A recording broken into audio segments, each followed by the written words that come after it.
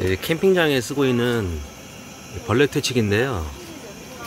예, 생각보다 효과가 좋더라고요.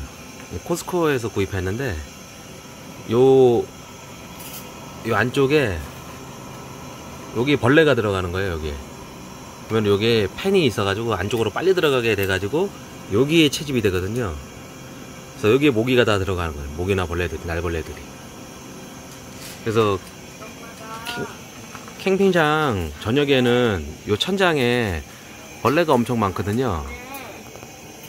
벌레가 엄청 많은데 다음날 와보면 벌레가 없어지더, 없어졌더라고요. 알고 보니까 여기다 들어가 있는 거예요. 그래서 항상 이거 열 때는 이렇게 해서 돌리면 되거든요. 이렇게 싹 돌리면 돌아가거든요. 근데 이거 벌레 버릴 때는 바깥에서, 버- 바깥에서 버려야 돼요.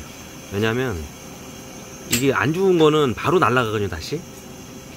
저도 모르고 이거 안에서 열었는데 모기랑 그런 게 날파리가 다시 날아가더라고요.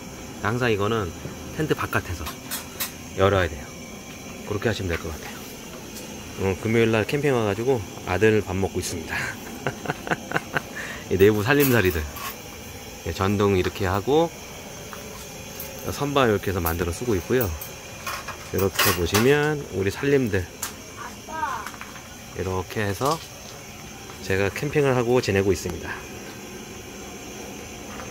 사진 맛있어 밥?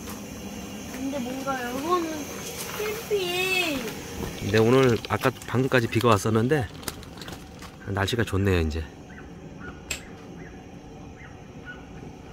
예, 다들 즐거운 주말 되세요.